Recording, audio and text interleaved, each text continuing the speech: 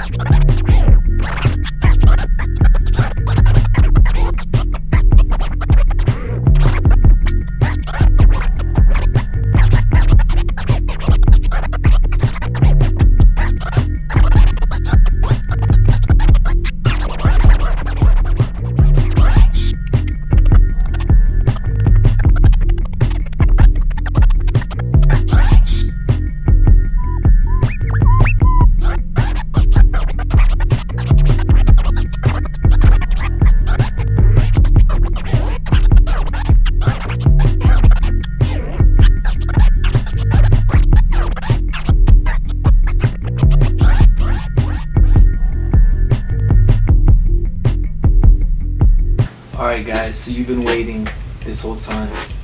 And the finalists who are advancing to the 2017 Skratch Society DJ Battle are